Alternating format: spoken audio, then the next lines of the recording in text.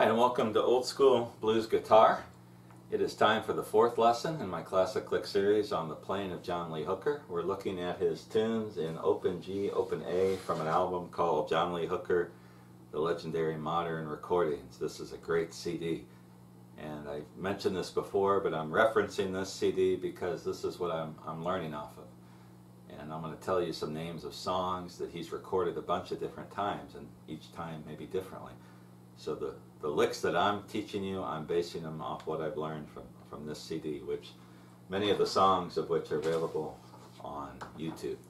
So if you don't want to fork out the money for the CD, you can, you can find them. We're going to look at the single string playing. And in a lot of John Lee Hooker's tunes, the slow tunes especially, you hear some stuff like this.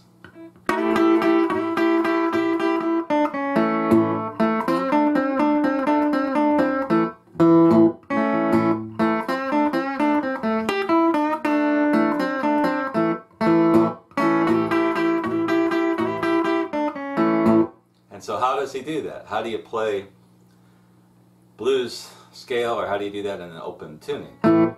Well, I've learned what I've learned by watching some videos. He had some videos, there's some videos of him on YouTube. There's one where he plays it on this folk and blues tour that went to England in the early 60s. Maybe you've seen these before. And they show him playing hobo blues, and I studied that video. I've also seen a couple videos of other guys playing this stuff. And basically, he's got this little scale up here, or down here on the, on the neck. And I'm just going to show you some basic licks and ideas that you can use to start figuring this out. I am still figuring this out. And I'm sure I've only got the basics, but listening to the songs on this CD that are in the open tuning, this is about all he does. He's, he's just using a, a few notes and a couple bends and some simple ideas. So the first thing is when you're in open tuning, you've got to anchor this first finger on the third fret of the second string. And this lick right here, which is the first one I have tapped out, is pretty basic. And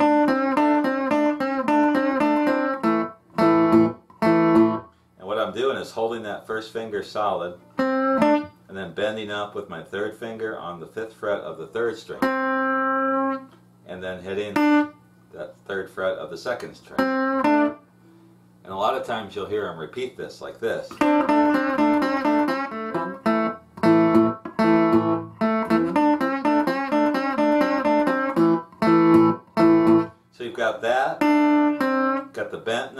The fifth fret, and you've got the open. The open string is a G, so that fits into our open, or an A with the second capo on there, the second, the capo on the second fret. So that basic click, so there's one that you hear him playing. And he can add stuff to that. One note he adds is the fifth fret of the first string. So that's one you can play. The open.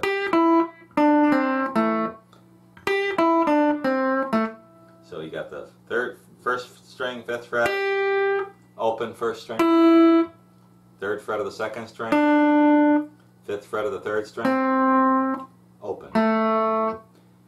And then he, another thing he does is he gets this bend on the third fret of the se second string. I'm not sure exactly how he does this. Again, without the capo. If I was just tuned to open A with, and didn't have the capo here, then I could play that song. It'd be a lot easier to get this finger here and bend that. But with an electric guitar, I can see how with practice you'd be able to do it. And he does these licks like this. This is the second lick I have out, where he combines some, some stuff.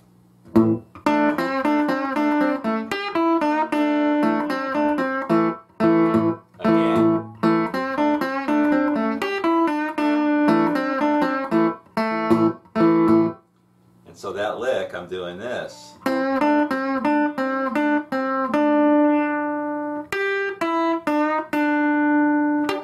So it's third or fifth fret of the of the first string, open, then I'm bending up and letting down on the third fret of the second string. Then it's open third string, and then that bend the open third, ending it. So that lick one more time, you hear this one a lot.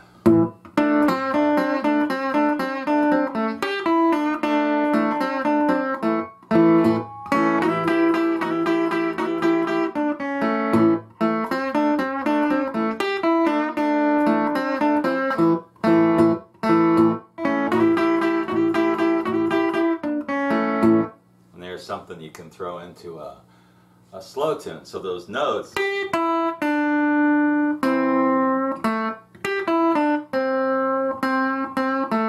You can also use this note right here, the fifth fret of the fourth string. So you could do something like this.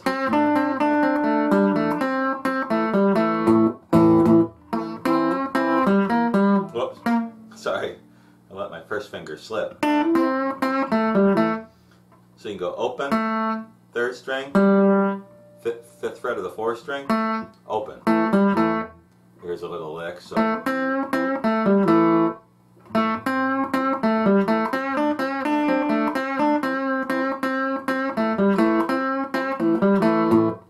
You can come up with endless variations to play out of that.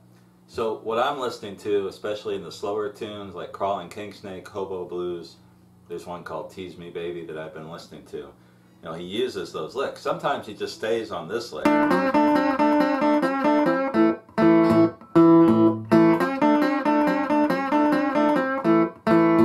Like that. Sometimes he throws in that first string.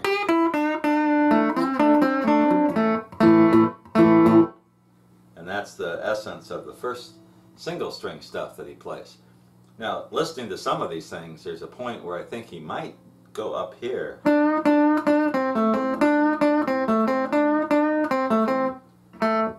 Do something on the seventh fret of the third string. And I'm doing it like a three-fingered bend in standard tuning. My first finger is now anchored on the fifth fret of the third string, and I'm bending up the seventh fret with my ring finger. And then I've got the fifth fret, seventh fret, fifth fret, and then the seventh fret of the fourth string to play with.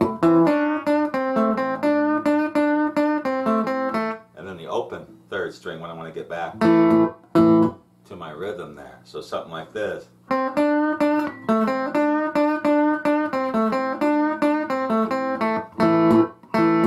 I hear him doing it. Sounds like he's doing that instead of instead of playing it down here, I think he's playing it up here. It just sounds a little thicker. It sounds like the third string and the fourth string instead of the second string and the third string. So those are some single string ideas. And in his slow tunes, he combines all this stuff. So we've learned the, the basic rhythm that he does on the open open strings, especially in the boogie tunes. And then he throws in these double stop slides.